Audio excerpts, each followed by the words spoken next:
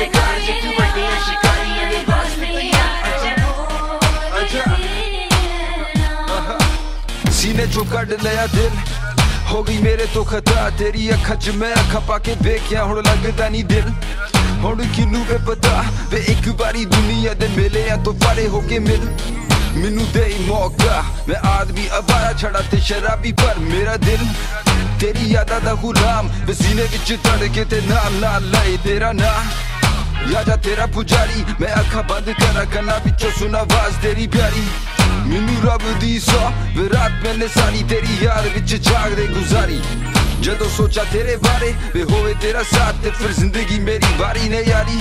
ਜਾਂ ਫਿਰ ਮੌਤ ਮੈਨੂੰ ਪਿਆਰੀ ਤੇਰੇ ਪਿੱਛੇ ਜੇ ਮੰਗੇ ਛੱਡ ਦਵਾ ਮੈਂ ਦੁਨੀਆ ਐ ਸਾਰੀ